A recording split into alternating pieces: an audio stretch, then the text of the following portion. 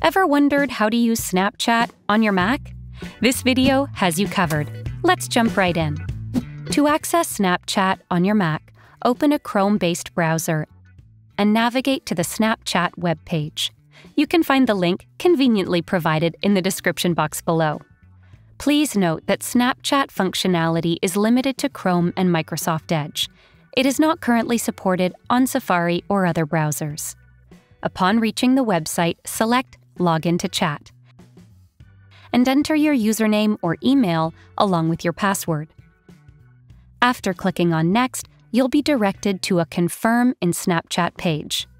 To finalize the confirmation process, open the Snapchat mobile app on your smartphone and respond to the confirmation prompt.